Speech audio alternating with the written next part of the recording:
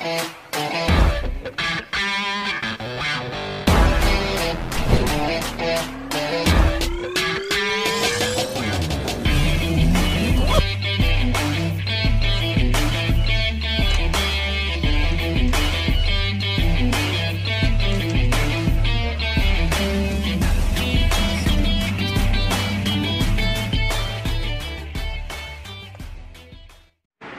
Hello, hello, hello mga kayela! At nandito na naman tayo sa ating bagong segment ng ating vlog na kung saan pag-uusapan natin ang StarPay.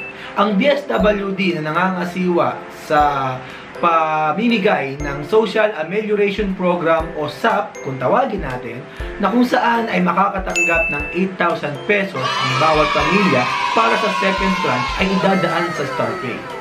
Ang StarPay ay isang electronic app na kung saan ang pera ay doon papasok mismo sa cellphone mo. At ang kailangan mo lang gawin ay simple, i-encash ang pera. Pero paano makukuha ang pera kung hindi ka pa nakakapag-register?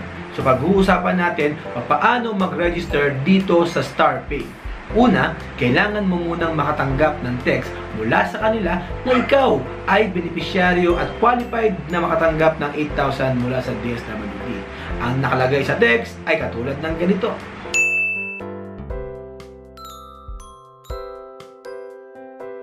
Once na makatanggap ng message mula sa StarPay na nakalagay na para makuha ang ayuda, ay kailangan mag-download ng StarPay app.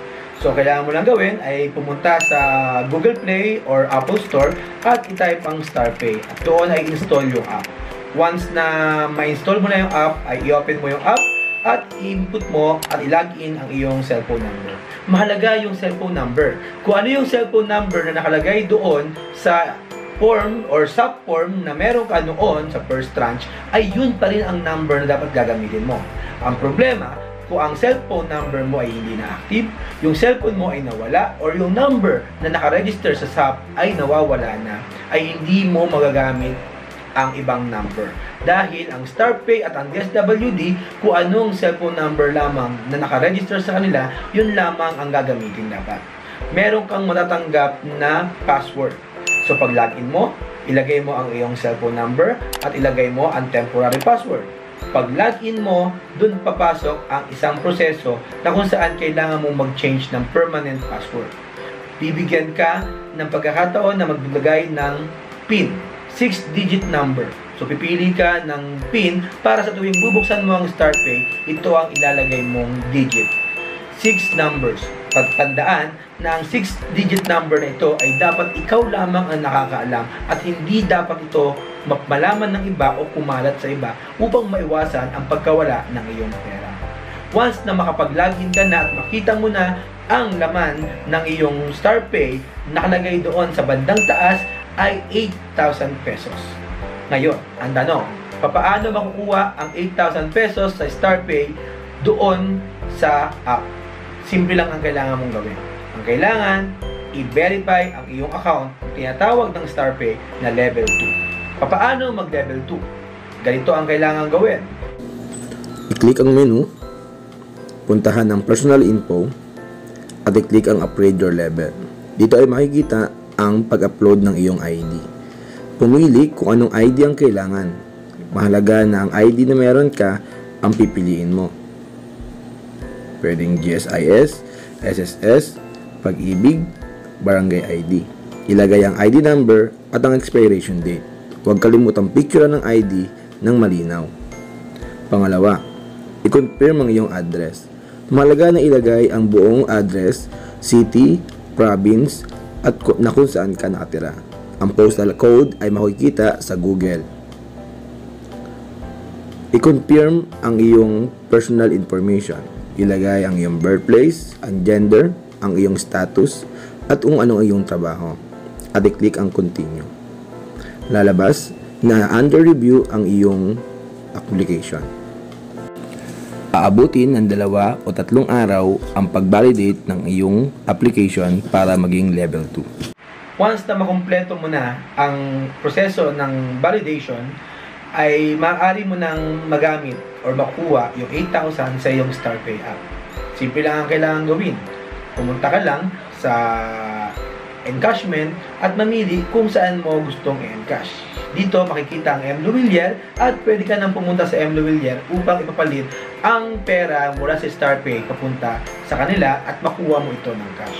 Nakakalungkot lang mga kayala na ang prosesong ito na sana ay mapadali no ang pagtanggap natin ng ayuda mula sa gobyerno ay tila naging problema pa para sa karamihan. Meron na iba na scam. Meron iba na lock account. Meron naman sa iba ay pagtingin ng account nila may 8,000 at makalipas lamang ang ilang segundo ay naubos na ito. May mga tao na nawalan ng pera sa StarPay. May mga tao na hindi nila alam saan napunta ang 8,000 nila. At nakakalungkot na ang tagal-tagal mong hinintay, ang tagal-tagal mong inasam, ang tagal-tagal mong ah, nag, nag-follow up, pero mapupunta lang sa wala. Nakakalungkot ang ganong mga pangyayari. At sana sa pagkakataong ito ay magawa ng paraan no, ng StarPay or ng DSWD na maibalik yung pera ng mga tao. Dahil ini inaasahan nila to. Kailangan nila ito pambayad ng kailang bahay, pambayad ng tubig, pambayad ng kuryente, na malaking tulong sana sa kanila. At meron pang iba na hanggang ngayon ay naghihintay pa rin na sana sila ay i-text ng StarPay. At ang nakakalungkot dito ay merong ibang mga tao na hanggang ngayon ay naghihintay ng kanilang mga pangalan o text mula sa StarPay na sana sila naman ang mabigyan ng second tranche. At hanggang ngayon ay naghihintay pa rin tayo kung kailan matatapos ang ayuda na yan ng Social Amelioration Program. At para sa mga tao, sa mga kayelak natin dyan, itong video na ito na ginawa natin ay para lamang matulungan sila sa kanilang mga tanong paano ma-encash ang pera.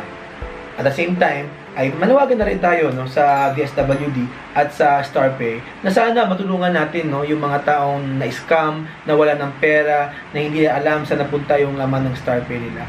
Hinihintay nila na magamit nila ang pera para sa kanilang pamumuhay. At sana, sa pagkakataong ito, ay matapos na ang kabaryo natin dito sa COVID-19 at maibalik na sa normal ang buhay ng lahat. Kaya mga kayela, magkita-kita tayo uli sa mga susunod pang mga araw para sa ating bagong vlog. Bye-bye!